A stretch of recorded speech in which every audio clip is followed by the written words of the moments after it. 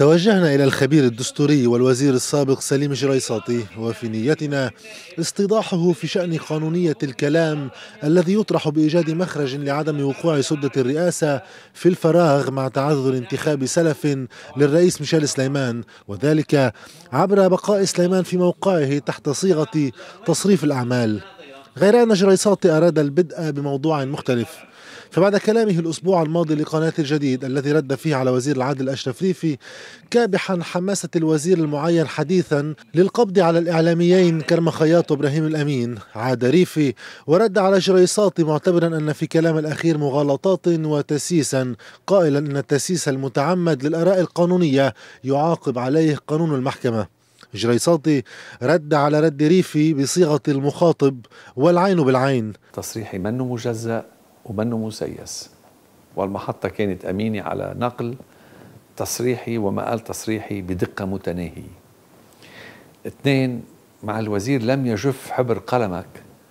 بعد عند توقيعك على مرسوم إنشاء أمانة سر مجلس القضاء الأعلى في لبنان.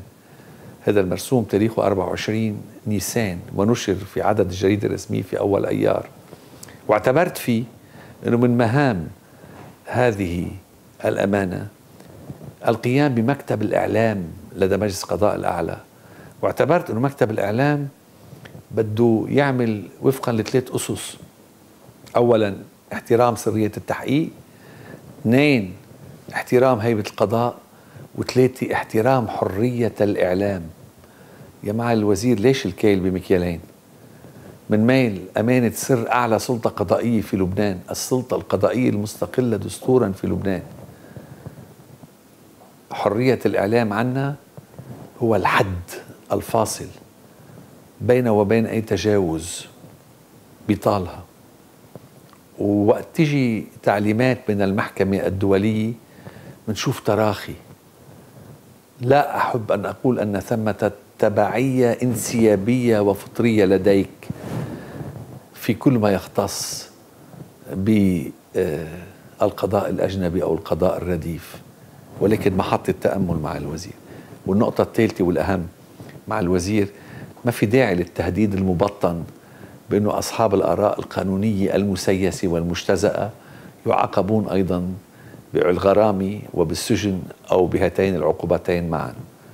هذا الكلام طبعا ما بيتوجه لإلي وما بيتوجه لأمثالي. وبدعيك هون معالي الوزير زيادة في التثقيف بأن تقرأ قرار باراغواناس اللي اعتبر إنه في تحقير للمحكمة ولأجاز انتقاد المحكمة. سياسة كم الأفواه معالي الوزير انتهت. أنت ما عدت رئيس ضابطة عدلية ولا عدت أنت أب روحي لقادة المحاور. أنت اليوم وزير العدل في لبنان فيليق بك أن تسمو إلى هذا الموقع. شكرا. في قضية طرح تصريف الأعمال في رئاسة الجمهورية يؤكد جريصاطي أن التصريف يجوز في حال الفراغ في السلطة. أما بوجود حكومة فلا فراغ في السلطة بل شغور في موقع. رئيس البلاد لا يصرف أعمال. رئيس البلاد هو رئيس الدولة ورمز وحدة الوطن والساهر على احترام الدستور وسائر قوانين الأمة. وهو ساهر أيضا على سلامة الأراضي وعلى وحدة الشعب. والقائد الأعلى للقوات المسلحة بالله عليك قل لي أين التصريف في كل ذلك. وبالتالي لن يقدم رئيس الجمهورية على مثل هذه الهرطقات الدستورية وأنا حازم بهذا الموضوع.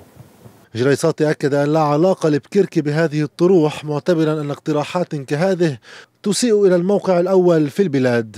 جد غصن قناة الجديد.